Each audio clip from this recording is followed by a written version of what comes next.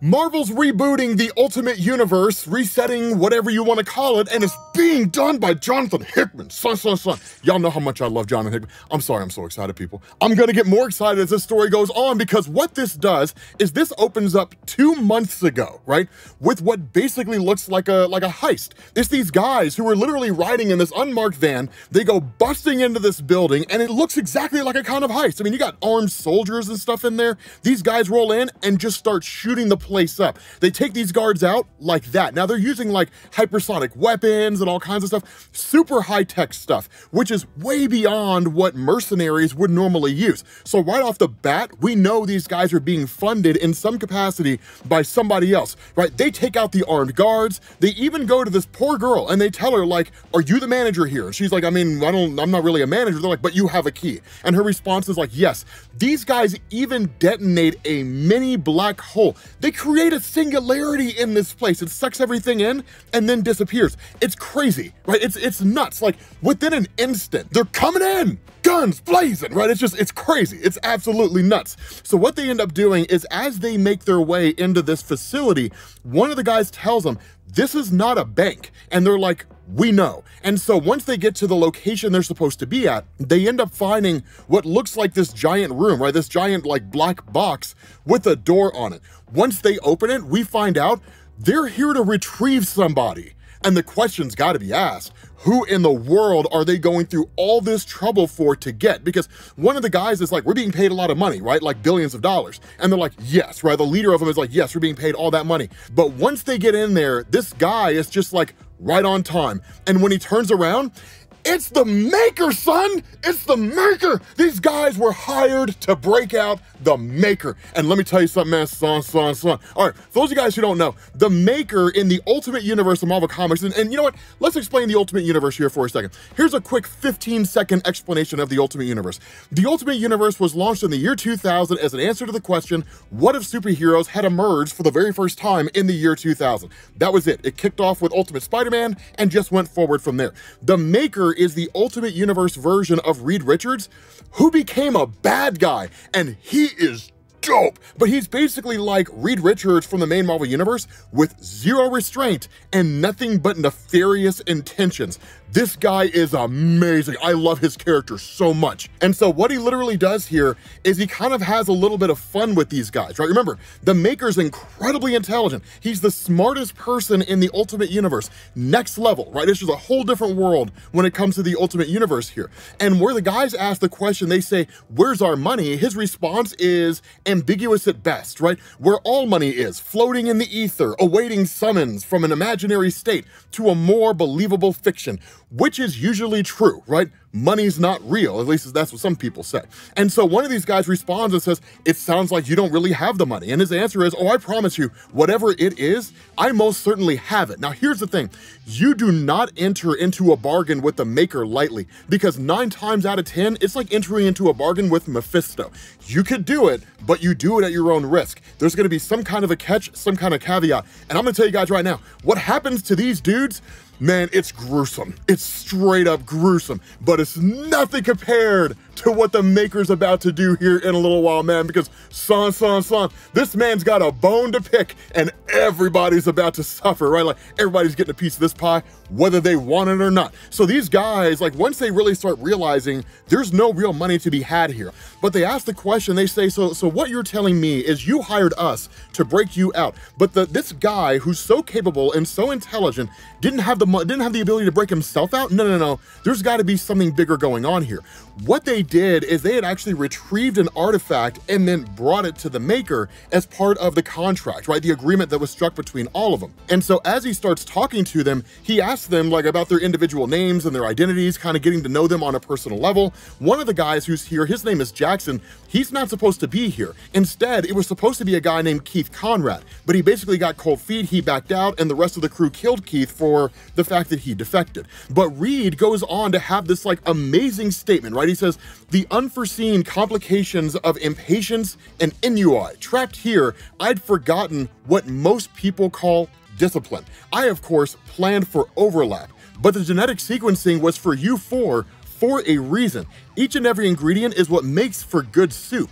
This will present as a less than 1% anomaly. Most people would miss it, but I wouldn't and he certainly wouldn't, which vexes me to no end. I suppose my choice now is a subtle prayer or a more on brand message. And one of the guys responds and saying, like, it was the last minute, right? Like, literally, this guy bailed out. We did the best we could with what we had. We had to grab this guy.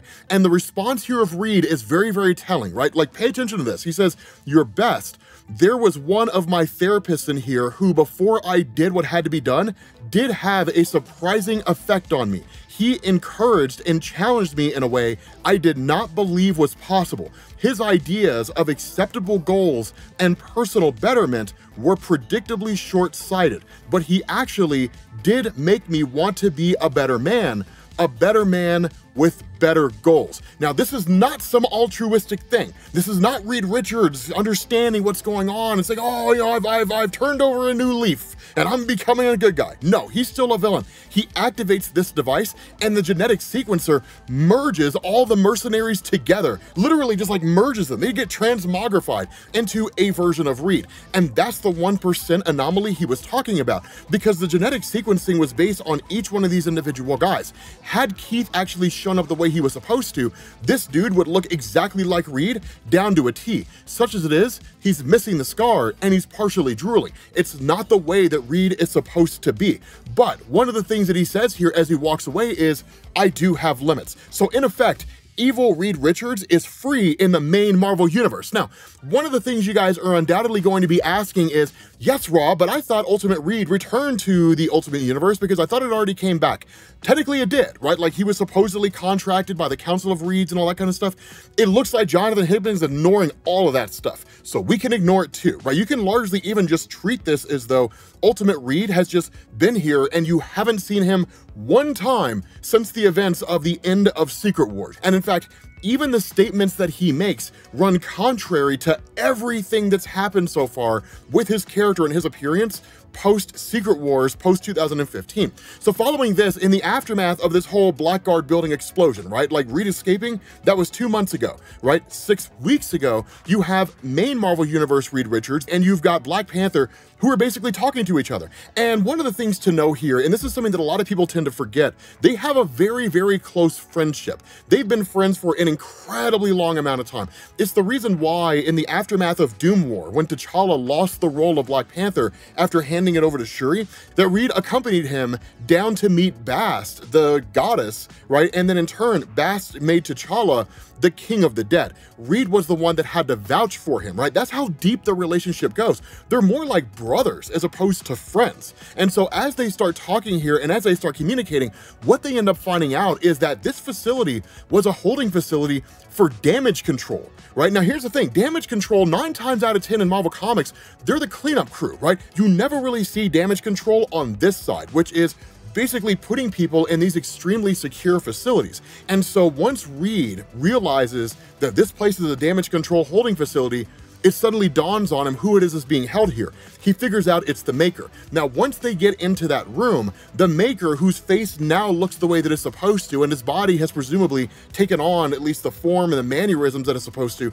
as soon as Reed walks in, he asks the question, Maker, is that you, right? Are you really me? Is it is it you that I'm looking at here? And the body, of course, immediately dissolves. And so what the Maker was doing here was putting on a show. This was not by accident. It's not sloppy. And that's one of the things that I want you to know notice here. Everything the maker does here is done with intention. There's no accidents. There's no coincidences. Nothing happens because it just sort of ended up that way. It's all according to design. That's how this guy works. And so where Black Panther asked the question, where in the world is this guy at, right? This evil version of you, who's seemingly every bit as intelligent as you, the response of Reed is, I'm not worried about where he is. I'm worried about what he's doing. And so what we end up doing is we actually jump to about five weeks ago when the maker shows up to the Baxter building. Now remember, the Baxter building is the home of the Fantastic Four, and it's got all these security systems, right? Retinal scans and all that kind of stuff but they're all predicated on the identity of Reed. The maker is Reed Richards from an alternate reality. The machine's not going to be able to differentiate between the two. And so the maker can just waltz right in. He walks right past Franklin, who has no powers, right? He's not a reality warper anymore. He ends up going into the computer systems of Reed, and then he starts looking through everything.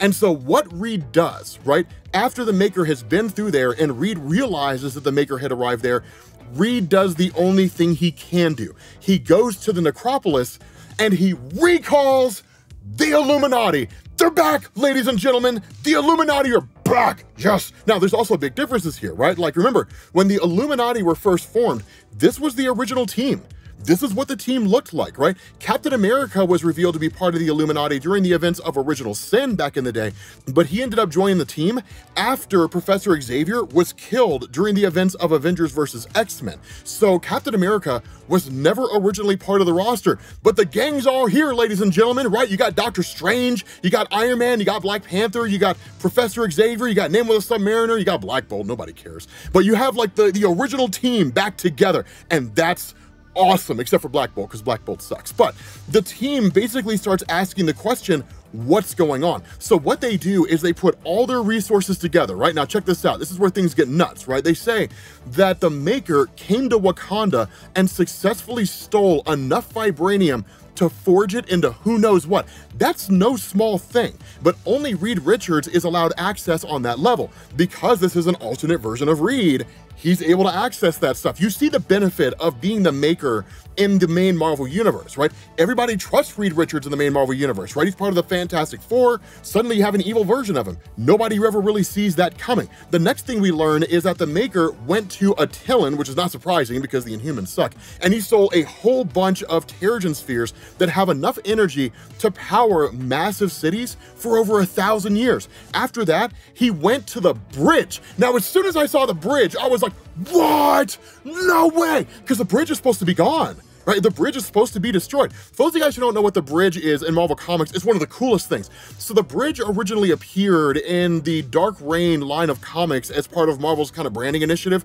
During this point in time, Reed Richards constructed the bridge in order to look into the multiverse, and that's when he first met the Council of Reeds. He was told by Susan Storm to shut the bridge off, but he lied to her. He lied to his wife. He actually ended up reactivating it and then traveled through, and that basically gives us the entirety of Jonathan Hickman's fantastic Fantastic Four run going forward from that moment. Now, the bridge itself was destroyed at the end of Hickman's run, but it was brought back during the events of the collapse of the multiverse, right? The multiversal incursions. Do you guys remember that story? Jonathan Hickman's Avengers and New Avengers, the greatest comic book story ever told, but man, it took like five years for them to finish it. Man, it was like it was like the greatest comic book run of all time. But the thing here is that the bridge is supposed to have been gone, right? It's not supposed to be there. Apparently, Tony Stark has it, and he has it in some secret warehouse out there somewhere, right? Why does Tony Stark do that? Because Tony Stark's a dick, right? The other thing about this is that you end up having the Maker who basically travels to the Sanctum Sanctorum of Doctor Strange, and he steals an immunity lance. He goes to Atlantis, and he steals from Atlantis, but he's stealing all these different artifacts, all these different things, and by whatever manner and whatever means, which they don't even understand how he was able to do it. He broke into Krakoa, right? The mutant island that can only be accessible by the mutant population. They don't even know how he did it, but he broke in there and he stole a Krakoan gate. They're supposed to be immovable, right? Once a Krakoan gate is planted, it can't be removed. It can't be taken out by any feasible means outside of like reality warping or something crazy like that. And so what ends up going on here, right? After Maker has stolen all this stuff, he goes to the one person that you would expect him to visit. Now, we know this. Anybody who's been reading Marvel Comics for a long time knows that this was gonna happen. It was gonna happen. These two were going to meet, right? The Maker goes and visits Miles Morales, son. Yes, he goes and sees Miles Morales.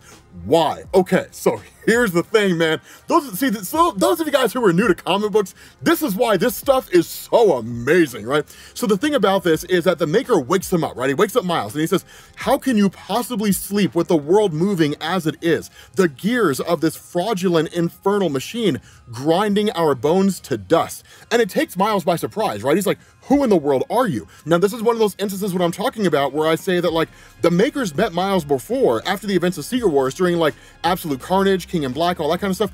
You can ignore all of that, right? Just act like you've never seen the Maker before. But his response is, have we not met? I cannot tell with so many of you. The masks and monikers, and more than that, the repetitive nature of so many of you heroes. And where, where Miles asks, like, who are you? This guy responds, right? The maker responds and says, you are Miles Morales, and I am your brother. And where Miles doesn't know what he's talking about, he says, I read about it in his records. It was some trick of universal rebirth and reality shaping. But as I understand it, according to the secret history, it's something every creature on this planet in this universe shares. But you and I have something that sets us apart from them, apart from their shared history. We are the only two survivors of a dead universe, Miles, the only living children of gods erased from history. Did you know that? Now, here's what the maker's talking about. Because if you're not familiar with comic books, you're probably like, what in the world is going on? Okay, so in Marvel Comics, and kind of referencing back to our explanation of the Ultimate Universe, the Ultimate Universe was really, really popular. But when the multiverse was basically collapsing and all these different universes were coming to an end, the final incursion, meaning the final two universes that collided, was the main Marvel Universe and the Ultimate Universe. Now, Miles Morales actually ended up stowing away on what was basically a safety vessel devised by the good guy Reed Richards, right? So when you got to the events of Secret Wars, Miles Morales remembered the entirety of the Ultimate Universe, the universe he came from, everything that had ever happened, the death of his mom Rio in the comics, the whole nine yards. And so because of that, once Secret Wars ended, Miles Morales ended up in the main Marvel universe. And so one of the gifts that he was given by the Molecule Man Owen Reese, which believe it or not, the reason why this happened is because Miles gave the Molecule Man a cheeseburger you don't have to believe me, it's 100% true. I'm not even lying, and that moment in the story was amazing. But the reward that was given to Miles as a result of that is that when he re-emerged in the main Marvel Universe, when Reed Richards set everything back to normal, Rio was brought back to life. So he finally got his family back. That's why if you read Miles, or you're just now getting into Miles, that you go from the Ultimate Universe where his mom is dead when she was killed at the hands of Venom, to suddenly she's alive. And so what ends up happening here is that as the two of them are talking, the maker literally tells Miles, he says, it would feel wrong to go back and to basically recreate all of reality without coming to you and talking to you first and asking you, do you want to join me? Do you want to go back home? Now, the reality here is that Miles has settled in in the main Marvel universe, right? This is his new home now. If he went back to the life that he had before, it would be the life with his father, his uncle Aaron, who's dead, his mom, who was killed by Venom. There's nothing for him back in the way that things used to be. And so the result of this is he rejects the offer of the maker. And so the maker gives him an empty card and says, if you ever change your mind, you know how to get a hold of me, and he ultimately leaves. And so following this, you basically switch over to the here and now in this moment, right? The Illuminati have banded together and they're trying to basically stop the Maker, who's on top of the Baxter building with basically all these artifacts that he's gathered for the purpose of jumping back to his native reality. Not only jumping back to his reality, but resetting everything, rebooting everything. Now, initially, the Illuminati do what they can where they can, but understand this is Reed right? Whether it's an Ultimate Universe version, bad version of Reed, or the good version of Reed, he accounts for everything. And so what he does here is he opens up a portal, right, to basically jump through and to send himself back to the Ultimate Universe. And you literally have, like Black Bolt who screams, because, you know, that's all he can do, right? Just scream like a little girl. And then you've got the other members of the Illuminati who are all using their powers. It doesn't do anything, right? The building gets leveled, the whole nine yards, nothing happens. Reed even looks at them, right? Like Maker looks at him, it's just like, you guys done? You guys finished? Because I mean, I've, I've got I got places to be. So if you guys are done, I'm gonna go ahead and jet. That's how little he cares about the situation. And so one of the last things he does is he asks main Marvel Universe Reed, if you could do it all over again, if you could go back to the moment when the Molecule Man gave you that power, to reset the entirety of the Marvel Universe. If you had that moment to wipe me from existence, would you do it? And the response of Reed is, yes. I absolutely would have. And the maker says, I'll keep that in mind. And so with him jumping through the portal, the superheroes, the Illuminati, are helpless to stop him. There's nothing they can do. And so what this does here, what this does, ladies and gentlemen, what this does is this switches over to a field trip oh, it switches over to a field trip, right? Like a science trip, right? You've got Peter Parker and you've got Liz it's the origin of Ultimate Spider-Man, right? Like it's the origin of Ultimate Spider-Man. They're there, they're looking around, they're doing all the kind of stuff that you would normally expect. Peter's taking a look at everything, and the radioactive spider makes its way down, and it lands on Peter Parker's hand, and the Maker plucks it off. He takes the spider off of his hand. He prevents Peter Parker from becoming Spider-Man. That's, that's literally, he's just like reworking and restructuring everything. I saw this and I was like, there's no Spider-Man in this universe. like the maker's reworking and just restructuring everything. He's, he's rebuilding it all. It's crazy. With that being said, guys, we're gonna bring this video to an end. Now you know what this means, right? We gotta cover the Ultimate Universe. Thank you all for watching. I will catch you all later. Peace.